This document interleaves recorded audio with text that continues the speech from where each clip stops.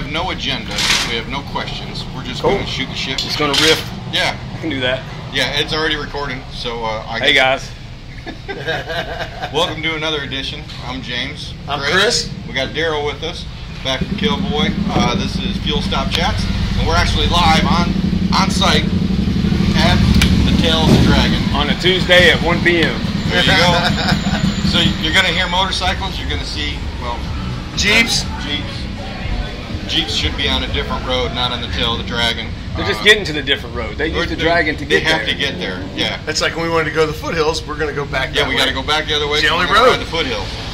So, what's been going on? How, how things have you know been this summer? Have they picked up at all? Well, you know, COVID scared us, and then things just shut down there for a couple months. It was really freaky, and then the floodgates opened after a couple months. And man, it was crazy out here last year. We did more business at the end of last year than we had done in a long time, and more than made up for the beginning of the year. And then this year's been more the same, really. Um, you know, quite busy. The this time of year, basically July 4th until the end of September, is usually kind of a lull and July 4th is not usually that busy. Um, and then for a couple of months there, everybody assumes it's busy. Nobody plans rallies during this time of year. Everybody stuffs their rallies into like May. Yeah. And Yeah. Um, it's funny because they try to beat the crowd and they just become the crowd. Become the crowd. Um, you're not stuck in traffic. You are traffic. You know. No, yes. Um, but uh, yeah, this time of year tends to be kind of slow. So um, it's been pretty busy day, kind of hot, you know. So there's uh, a little bit of a temperature thing we have to be careful of, but it's not that bad. We've seen it be point where it was dangerous. You know, people were out here dehydrating and stuff, and we're shoving water on people, saying just take it. You know, we, Yeah. we don't want anybody Yeah. dehydrating. Um, but yeah, it's been steady, interesting. Seems like a lot of people redirected their sort of uh, vacation funds that they had planned on doing on cruises. That was all shut down. You know, um, just traveling out of the country and all that stuff. Seems like they took that money and said, okay, let's let's go to the mountains in North Carolina. Let's go get a motorcycle and drive across the country. So it's good for whatever. Killboy. It's been good for us, yes. Good. There are people who, you know, struggle and there are people who benefit from it and we've been able to seemingly benefit. So it's been pretty good. Yeah, I mean that's my whole thing. People will talk about you know we can't get people to work in restaurants and, and there's you know nobody wants to do anything with unemployment. That lady almost hit that Harley. Wow. Or guy almost hit that Harley. Anyway, Yeah. so yeah, it's just you know people people have just sort of redirected what they do to something else, and the same thing and with their time. I think it makes people think Yeah. about what their time is worth. You know, Yeah. and their life is worth, and they're you know thinking more point. about Yeah. you know, what we should be doing with our lives. So it's kind of a shake up. What side on you know you're on doesn't really matter. The fact of the matter is that people have changed a little bit how they think, and um, it's been it's been interesting. Yeah, it was kind of scary, like I said, but um, we've done okay. So seems to be still popular, but not you know too crazy. It's not. I mean, you can see you can sit here for like five minutes and nothing goes up the road. So yes, there are times when there's packs of traffic and you don't want to be in that pack. But if you're smart and you just sort of work out a good spot to play in, you can get the road to yourself. Use the pull offs effectively. You know, a lot of people get frustrated because other traffic isn't using the pull offs, and it's like you can use those as well and let that traffic go and give them Yeah. like a minute or two. You'd be Exactly. surprised how That's a much great distance it puts on you. Yeah, Yeah, so that's a great point. depth. So we rode in. Uh, there's ten of us in our group, and uh, we had sort of broken it up into two. I think the six went, and then there was four of us Four, in the yeah. back. So it's like Tony was his first time riding through here, and I said, "Listen, just don't look in your rearview mirrors. I will be behind you because I had a camera going on my bike. I if I need to let you know to move over, I'll let you know. You guys got comms. Yeah. Yeah. So we just followed each other through. We didn't have anybody pushing us. He was with Jackie in the back. That was one of her first times going through following without her husband uh, because she's always been a rider on the back in pillion, but now she just picked up a Triumph. So this is one of her first times going through. And her husband Ray was leading the pack to go through there. But yeah, it was great because nobody was pushing us. There There was was, no pressure. Yeah. It was so nice. You know how many pull offs there are up there? I have You no wanna take idea. a guess. Uh, Paved, 11 mile section of road, paved pull offs. I'm gonna say 25. 105. No shit. 105 paved pull offs in 11 miles. It is crazy. We've gone through and counted them. I can't Yeah. count that many curves. It's supposed to be 318, and I can get up to about 180 or 200. Lose and that's being Yeah. that's being uh, you know So there's no reason why people shouldn't be pulling. over. Well, th- that's a good point, and there is an argument to that. Most of the pull-offs are on one side of the road.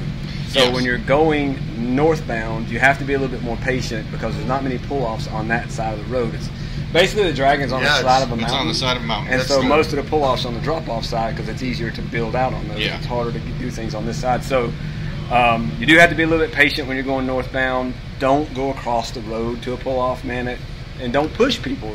If there's not a place to pull over, I hate to see that. People get behind somebody going slow and they're like blowing the horn and blues in their mind. And it's like, well, there's no pull-offs for like a mile. What do you want to do? Yeah. You know, Yeah. and go across the road and cause somebody a wreck. That could be you. You know, so. Um, but yeah, there's a lot. There's a lot of um, spaces there to pull over onto, um, both to let other traffic by and to, like I say, build up a gap where you can enjoy your ride at your pace. But if you're going at a pretty reasonable pace, like you guys are probably going 40 miles an hour, Oh, then we were going slower than that. I you won't yeah, have a lot of disparity in speed because that's about the average speed that people are going through here. You know, speed limit's 30, um, and you if you can go 30, 40 miles an hour on average, that's that's booking through pretty good. You pretty know? good. Yeah. yeah. So I saw you guys out there. Saw another group group out there. So for our listeners that don't know who Darryl is, Darryl runs Kill uh, Killboy Photography, if you will. Dot com. Yeah. Killboy.com. Uh, they're set up out there. They take your pictures as you're coming around the corners. Now, do you guys use the same location each time? You just Now we move around. Like I said, there's so many pull offs. There's a lot of options for angles, and so we don't want to shoot the same shots day to day. So we'll try to move around from one day to the next, and we'll reuse spots over the course of three or four days. But if somebody's here for two or three days, we want to give them a variety of shots and things like that. But it's it's like a roller coaster ride. You know, everybody says that. It's like we get to the end and we get to see our photos. Now they're not down here. We take like fifty thousand photos a week on average. Um, and it's too many to try to bring down here and then have it logistically so that people can look through them.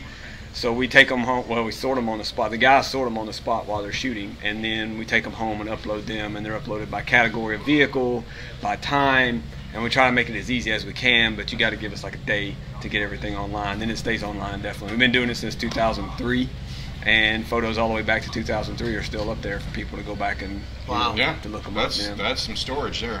Yeah, yeah, a little bit. Now- racks and- and racks. Don't go out there and find your photo and then take a screenshot of your photo that has the watermark on there and then try to get rid of the watermark. Just pay the man. Pay the man for We don't charge time. that much, yeah. And you get the, the full digital off the camera, and we edit the photo now if they order it, and you know make it a little bit more dramatic. So, um, so you get a better version of what we show on the web. The, the web is just a preview thing, but um, but yeah, we appreciate it if you actually buy the photo. Yeah, I mean they're out there, they're sweating, they're sitting there all day. That's a full time job. This is Yeah, yeah. we have uh, seven guys, and five of them that's full time work for them. That's their that's their sole income, and of course my wife and I that's our primary income. Um, so this isn't a hobby, you know. This is our job, and we wouldn't come to your job and expect you to give us something for your time and effort that you put into it, and uh, without some compensation. So Right. Exactly. I mean, I'm not saying go out there and you know, buy every photo that's there. No, no, we don't expect that. Don't steal it. yeah, Don't. Oh, that's a great. it's really not that big of a problem, but we do see it. from time to Oh, time. Yeah. we, we make a lot of sales. Um, people I, I see that on appreciate what we Facebook every now and then where people put it up there and it's like, And I just, come you on, know, man. I just reach out to them. Hey, look, if you like the photos, please purchase them so that we can keep doing this. Exactly. Thank you. And Yeah. they usually just don't even think about it. So many kids are out there doing it for free, Right. trying to get their name out. And I did it for free. I did that for two Yeah. years. I sat on the side of this road for two years, getting good at it, putting the photos online, letting people have them. So I get that sort of mindset that some customers might have that, well, why am I paying for a, for a photo? I can get them for free all day long. But this photo that we took, you can't get for free anywhere. else. Exactly. We got the photo that one shot. And so um, we hold them hostage, as I like to say, until you pay the ransom. For sure. and you- like we had talked about this before, you're just here on this portion, you know, Tail the Dragon. Right. You're yeah, not yeah. on Cherohala. We've, we've played around. We've shot on the Skyway and we shot on 28 some. And what we found is it really doesn't pay out. It's like the people who are on those roads typically come through here, but the people who come through here don't necessarily go to those roads. So we get somebody sitting out there all day Ah, for uh, Ah, a gotcha. fraction of the income, shooting the same people, and they're now picking up whether they want to get the shot from the Dragon or the shot from the Skyway. So the idea of the Cherry Skyway the image that people have, it's like we get this cool shot with this great view and everything, and we've tried, and maybe I'm just not good enough as, as the photographer, but I've not been able to figure out how to capture the essence of the Skyway and get a tight shot of the person.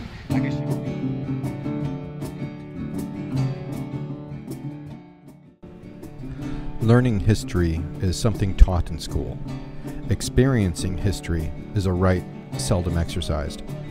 Either experiencing the American Civil War by walking its battlefields and touching the soil where blood was shed, or experiencing musical history from the studios where the lyrical touchstone was created and recorded, the textile of history should be experienced firsthand. Participants in this journey should be riding a motorcycle from historical location to historical location so that the environment can wash through them in the open air. Ride History provides an intimate, educated, and personal experience guiding its riders through history on the freedom of two wheels. Check out www.ridehistory.com for available tours of the Gettysburg battlefield or ride through America's entry into the Industrial Revolution on the Oilfield Tour. The Knox Tour from Fort Ticonderoga to Boston, or the eight day Rhythm Tour, starting in Atlanta and hitting Nashville, Memphis, Muscle Shoals, Jackson, and New Orleans. Ride through American history at ridehistory.com. Well, I saw the drone sitting in there. You guys do drone footage? Yeah, yeah. So I've I've played with uh, RC uh, helicopters before drones, and um, and then when the drones came out, they made it a lot easier. Yeah, I was yeah, flying. yeah. Helicopters were great, but they're impossible to fly Yeah, they with real were. accuracy. They were like constantly just trying to crash. It was Yes. balancing on a ball, trying to fall off, and uh, Yeah. so the drones with the GPS-based flight just really changed the game, and the, the live feed onto the screen, so that you know one of the problems with flying RC stuff is orientation, understanding when you're looking at it which way it's facing, Yeah. and understanding when you put in a control which way it's going to move. You know, so with a helicopter it can move in all directions, and so if it's facing left and you push the stick to the right, it's going to move away from you. You know, so it gets weird. And um, but with the screen now, left is left, right is right. Everything's Have you used the intuitive. goggles? I do. I've got Okay. a FPV set up, and I've had a I've had a basic FPV drone for a couple years. I'm not very good at it. Doesn't have GPS, and it's the race style drones Yeah, that, yeah, are, that take a lot of talent, and I don't have that much talent. Um, It's practice. It's, it's practice, practice, practice. I mean, the Yeah. hard part is there's no uh, peripheral viewing. Yeah, yeah. it- it's, it's- pretty wide angle, but um, I just don't have the time to, to practice, especially at my age. I don't learn as quickly as I used to at 50 years old. And I'm so busy with the workload and everything. So I, I picked up a DJI FPV drone, which has GPS based flight. So it can, you know, hover in place and you can let go of the sticks, you can land it, and it's a lot easier Okay. um, to get the hang of. And it'll still allow you to get a little bit crazy and do flips, and it'll go 90 miles an hour, that thing. Um, but it'll That's also kill No, the- I have a DJI 4. Well, these guys are. one of these Oh, guys, those, those little ones. They got yeah, the little smallest ones. DJI. Yeah, yeah, we've got several. I've got the Air 2S, the Mavic Pro. No, he's talking about the one that's hanging up in there. Oh, yeah. the yeah. big Yeah, boys, that, yeah. that doesn't mess around. That's, yeah, that six rotor. That that's a um, 3D robotics uh, rig that that was around before um, DJI's Mavic came out, Mhm. and um, it was really cool because it's got a double rotor stack. So there's one rotor spins one way and one rotor spins the other way, and if you lose one, it can still fly. Okay. And with any other type of drone other than a six or more rotor, uh, if you lose a motor, if you lose a prop, it's it's falling out of the sky. And that one had some redundancies. So we'll say it's pretty interesting design, but it wasn't very efficient. The bottom prop is in the wash of the top prop, and it's not effect efficient and all that stuff. So we've had a lot of fun. Uh, yeah, flying the drones and getting some different angles in the mountains up here. It's it's really what you need to get back and really, you know, capture the essence of the views and stuff, especially during the Yeah. winter and stuff. I like to get out and play around Oh, yeah. with the snow and everything and get those shots. Um, so it's been fun to share what it's like around here with people from a different um, perspective and and uh, you know we watched the um, the solar eclipse came right through here and I put a drone up and tried to catch the shadow coming through. Oh, Didn't really? it's That'd so cool. it's a 70 wide mile circle Yeah. and I could only see like a you know a mile or two wide, so it wasn't anywhere near wide enough or high enough to Yeah, to really capture the the, the size and scope of that shadow, so I didn't really do it. But I tried. I had live feed going down here for anybody that was hanging out down here. I remember I just was different stuff. flying back from Germany. Uh, I was in the army, and I think this was '98, and there was a full eclipse. Solar, yeah, Yeah, yeah. taking place, but Stuttgart was the epicenter. Was Nice. like the main place to be. Locked in, clouds. Couldn't Ah. see shit. Did you get above But- them? but It was the day that I was leaving. Yeah. So I had somehow gotten bumped up to business class. Sure, I'll take it. yeah. We Window take, seat? Yeah, no, I was in the. But there's three windows in Okay. between the. Yeah. So it was me and my buddy Heyman, and he's like, "Dude, look out the window." So we're looking out, and the the uh, pilot comes on. and He goes, "Yeah, if you look out the you know left side of the plane, you can see the. Uh, they handed out the little glasses and all that. And they said, if you look just to the right of the sun, you can see uh, two of the uh, what were the planes with the front end that broke the sound barrier. Concorde. Oh, Concorde. It was before they canceled it. Oh, there yeah. was two Concordes that people paid a lot of money That's to what I'm Chasing the saying. shadow. chase it. Yeah. Oh, I yeah. was like, dang. yeah, that it was would like a thousand mile an hour. yeah, shadow or exactly. whatever. That's pretty cool. And we were lucky when the eclipse happened. This recent one, Yeah, uh, that was my dad's gas. farm nice. in Missouri was four miles from being dead center of Nice. that thing. So we had a really Yeah, it came right through Robbinsville, Andrews, the Cherry Skyway, and the Dragon. Um, I was really torn. I wanted to do, and I kind of wish I had of now. I stayed here and just enjoyed it with everybody else, but I wanted to drive through the Dragon during the totality. So I went from like daylight to darkness to daylight in one run through the Dragon. You know, Oh, yeah. it would actually be a pretty cool video. It got I tell you what was weird was uh, the uh, the horses walked back in the barn. Nice. The the cows were all kind of huddled around the, the shade trees, and uh, and the chickens went back in the chicken coop. nice. And then when the sun came back out, they were all just kind of like, "What the Did heck? we just sleep? You- what happened?" What happened there? They had the funniest. The, the animals really reacted weird to the whole thing, Cool. and it I just liked all the shadows. How it was all. yeah. They got really weird. The Leaves. darkness. Yeah. Uh, the Yeah. leaves shadows and yeah, the stuff. leaf got shadows. real Yeah. sharp because you had a single point of light. So this is a photography thing. This is the reason they use diffusers in studios and stuff. You don't want a sharp point of light. And so during that eclipse, it went from a, a point of light that was, you know, this big in the sky to a point of light that was that big. And so all the shadows get real sharp Super and edgy. crisp. And uh, for photography, you don't want that. So that's why they use the big boxes. It's that same Oh, okay. principle right there. It's like they're spreading that light out, so it's hitting from different angles and it softens the shadows. And the more you spread it out, the more Fewer pleasant shadows, yeah. light is. Yeah. So I saw you unloading a bike over there. Is that uh, that one yours? That's the wife's Ducati Scrambler, and we've got our friend coming, Justin from uh, Atlanta Custom Wraps. He's coming with his McLaren. He wants to ride with his uh, wife some, so I told him I'd bring that up and let them ride a little bit. I'm going to ride his Husqvarna. Oh, is that his Husky? Yeah, yeah. Okay. It's not a very good two-up bike, the Husky. So No, no, no. I'll, I'll doesn't even have suffer.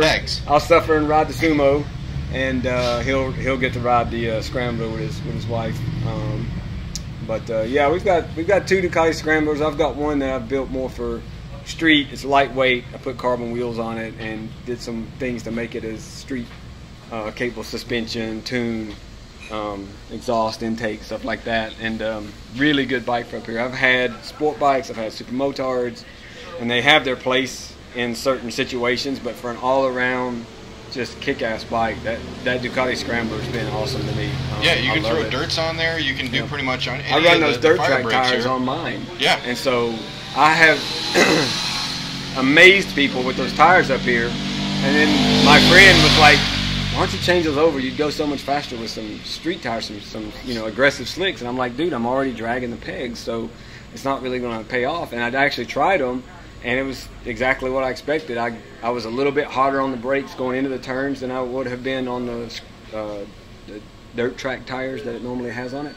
But then I couldn't go on gravel roads and stuff like that Yep. or any kind of dirt. So I just switched back to the scrambler tires. They get down right to the point that I can drag my knee, never budge. And if I want to hit a gravel road or something, then I can do that too. I'm a little hesitant on gravel with carbon wheels. If a rock flies off the front and Yeah. whacks the back end, it could crack it or something. Yeah.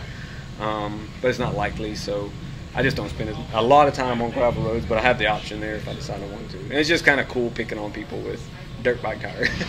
Well, yeah, I came up with uh, my KTM. and I had 606s on it, and I rode that through here. And then I went switched it out to the um, Supermotos. okay.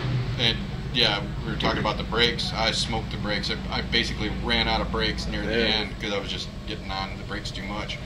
it's just not made for it.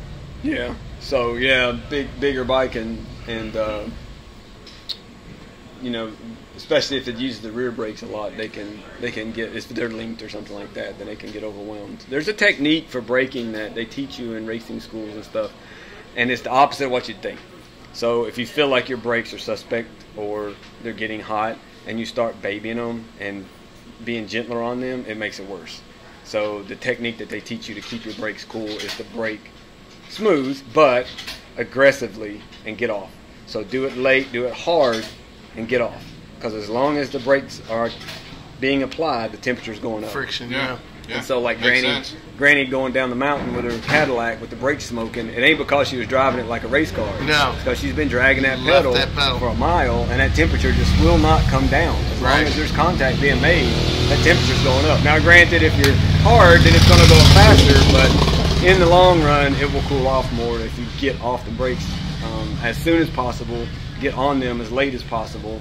Um, and be aggressive on the brakes, especially in a car, but even on a motorcycle, Yeah. you can be pretty aggressive on the brakes and manage the temperatures better. In cars, we have to deal with the brakes being enclosed, not exposed like they're on a, on a front end of most motorcycles, and um, they temperatures are a bigger problem. But on bikes, it's usually not that bad if you um, mostly use the front brakes and manage the temperatures a little bit by using that technique. It helps. Works pretty good. Not too many people have brake problems on sporty bikes. It's usually people overusing the rear brakes on the cruisers, and they're not really they're heavy made for it. and they're not made to do all that work, um, and they're buried up under some bags and things like that. Yeah, well, especially in this. I mean, you're constantly on your brakes, and it's because it's just corner after corner after corner. and it's usually fluid. It's usually the brake pedal will go soft, and so that's something you know that a lot of people know, but a surprising number of people don't know. It's like how to tell the difference between brake fluid overheating and actual pad overheating.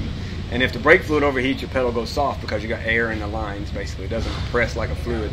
But your pads can overheat and kind of gas up or glaze up, and you'll still have a firm pedal, just won't stop. And that's how you know your brake fluid's still fine. Your pads are overheating, and you need to address that. You need to get some more aggressive pads with more bite or whatever it takes. Um, but a lot of a lot of these guys on cruisers, they they smoke the fluid. They usually don't use the most raciest fluid, and that's there's no reason not to use race fluid in a Harley. It's not hurting anything, and it raises the temperature way up, fluid. 650 degree boiling point versus Yeah. just 400 degree cheap stuff or yeah. whatever, you know. And um, and yeah, if you're gonna be not even just riding aggressive, you're just gonna be on a road that might demand a little bit from the bikes, then it'll pay off and it'll save your life. Yeah. you know. Um, Yeah. That few for an extra for- 15 bucks on Right. brake fluid, it's totally worth it. Don't skimp out on brake fluid. So here we are. It's uh, what late August, getting ready to get into September. When do the leaves start changing? When do you see things starting to change here? Because I know a lot of people come on to do leaf peeping. Mm-hmm. It's great to do on a motorcycle. Uh, be careful of the leaves on the ground, Leaves, of course. yeah.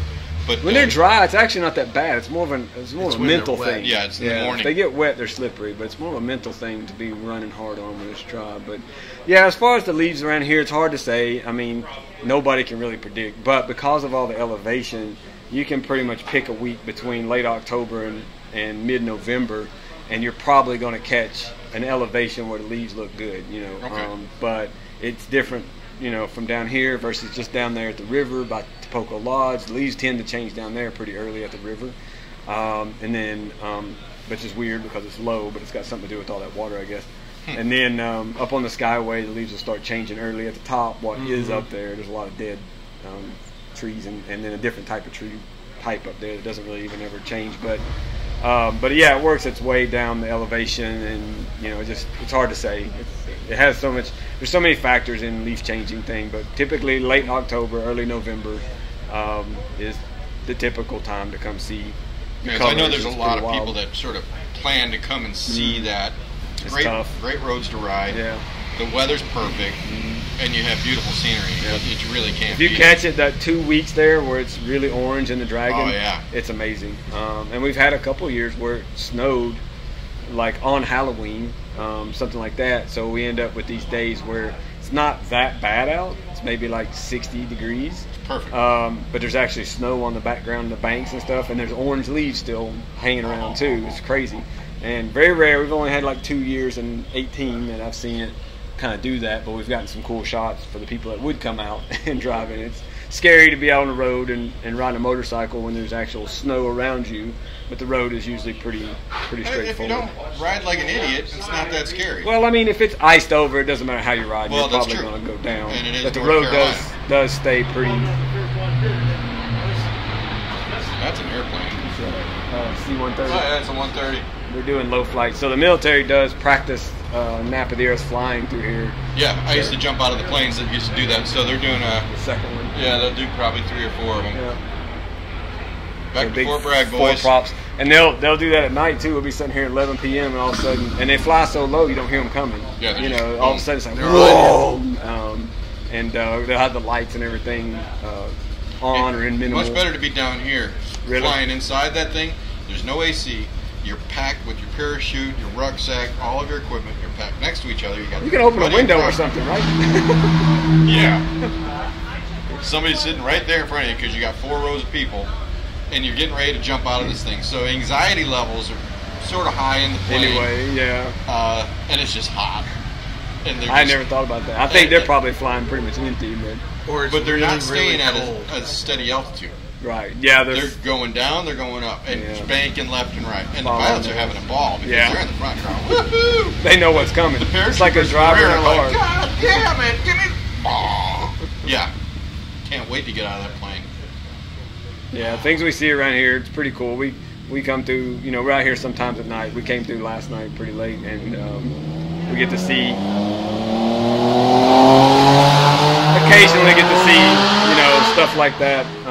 The military practice. We saw them come over with an Osprey one time, but um, but yeah, and actually last night, interesting story for your podcast. Um, we were coming through and we saw where there had been a wreck where somebody went off the road or something. There was a pretty good bit of oil on the road, and um, and there was some debris there. Like they tried to clean it up with some paper towels or something, but it was still there. And we got out and checked it. It was about this was about 11 p.m. I guess, and uh, felt like it was pretty slippery, and it was in like a a blind right, and it was right where a motorcycle would probably be, like on on the white Mhm. line, you know. And it was a section about uh, it was about 20 feet long and about four feet wide.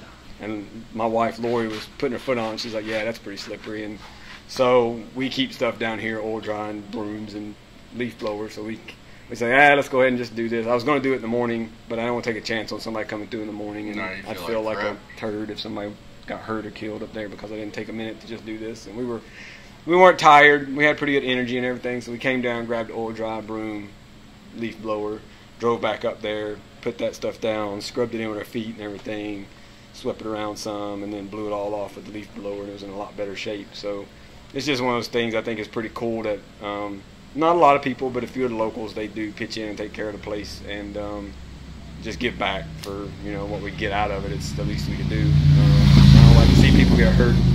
Um, but yeah, that was last night's adventure. Basically, was is always Yeah, I saw, Some heard about a cool vet stuff. going off today. really. Yeah. Yeah, somebody posted about a vet went off. So I didn't see anything. Yeah, I, I saw somebody posted about a vet, like it was like 12 hours ago or something on a Oh, maybe it was yesterday. morning. I don't So know. it could have been yesterday. Um, So what do you think of the uh, the tree shame over there? yeah, it's a good reminder that you know there's a lot of accidents up here, and it's kind of it's kind of interesting. Like when we would when we would go work with uh, the tourism board for the county and represent this area to people in other parts of the country, and they would approach us and be like, you know, we're thinking about going up there, but we hear about all the accidents, and it, there is a lot of accidents up here. There's no question. Um, it's a tight road, and there's a lot of machines that are balancing on two wheels, and that's just a part of it. But we average, you know, serious injuries and fatalities are really actually statistically low. But you always hear about it, you know, and that's what I would tell people at these places. I'm like, if we're in Ohio, and I'm like, you, somebody wrecks on your, you know, Highway 487, you think I'm going to hear about that down at the Dragon? No. Nope. But somebody wrecks on the Dragon, are you going to hear about it where you're at? Yup. So, and there's a million cameras, you know, including us, but everybody's got GoPros running and stuff Yeah. out here. And so anything that happens tends to get documented It's and recorded. over reported, you know. So everybody's a reporter out here, and anything that happens, Yeah. it goes pretty viral. Pretty so you tend to see all the negatives, and you don't see the 99.99% of people go through and just nothing happens. No they have a good yeah. time. Um, that doesn't go viral. Nobody, you know, nobody's No. going to share that. No. they want to share the gore. So The Exactly. it's the way it is, and it, and it, tree of shame is, is a good reminder that you know you need to keep that in mind. It, it can happen. People think that you know I don't need to wear the gear, or worry about it because I'm not going out to wreck. Nobody went out to wreck. You know Right. it happened. That's not that wasn't their intention, and they think that it's always the fast people. And no, it's majority of the time it's actually the slower people that are struggling to get through. The fast guys are the last ones you got to worry about. You know, as long as you stay in your lane, Right. we're all good. Right. when people start driving over and then they get freaked out because somebody pops around the corner Yeah. going fast and they Yeah. get mad at them. And Yeah. it's like they were They were doing not what they doing, probably yeah. doing much wrong. You're driving in the oncoming lane of traffic and Right. you get mad at other people for almost hitting you. you know, it's That's like, crazy. It's it's kind of wild. We don't get too many um, confrontations down here. It's been a couple years since there's been anything really uh, Oh, where somebody ugly. got yeah, went at each other. where they were head to head. There was a couple weeks ago. There was a couple guys out here yelling at each other, but they, you know, parted ways. I think it was just because he wouldn't use a pull off. Um, the pull off thing's been interesting because there were there was always places to pull over, but it was always until they paved it, it was too sketchy. Like you wouldn't expect Right. anybody on a motorcycle to pull off a drop off and in the gravel. So it was okay, you know. And now it's just this frustration of seeing it go by, and it's a beautiful, perfect pull off, and you're driving right by it. You know, it's just like so people get real frustrated, and I do too. I deal with it if I'm trying to get somewhere, Yeah. especially. Or I still I'm, can't believe there's over a hundred of them. you're gonna you're gonna count them now when you go up there, right? No, no, I'm not. I'm gonna take your word I'm for it. I'm gonna take your word for it. I'm gonna watch the road. Man that Yeah. lives here and does this for a living said this. Yeah, it was a rainy day, and we were kind of bored down here messing around. There was nobody here. I was like, they had just put them in, and I'm like, I want to go see how many there literally are. And I counted them, and from yeah, from Tabcat to the state line, just the 11 miles only, which is about all there is. Um, there was 105 paved 105 places to paved pull over. pull-offs. Well, you Probably cost like no excuse folks. for millions not of pulling dollars. off. excuse. Yeah, yeah. So I think we'll leave, we'll wrap it up on that. Man. That's I a mean, good that, that was tip. a, that was That's a a good pro tip. tip. That's, that's great. Uh, Darryl, I appreciate your time today. Again, killboy.com. Go get your pictures. Pay for your pictures. Take care of Darryl. Take care of the people that are taking the pictures. Ride safe. Use pull-offs and enjoy. Chris, Darryl, everybody else, ride her out. Ride her out. Thank you guys.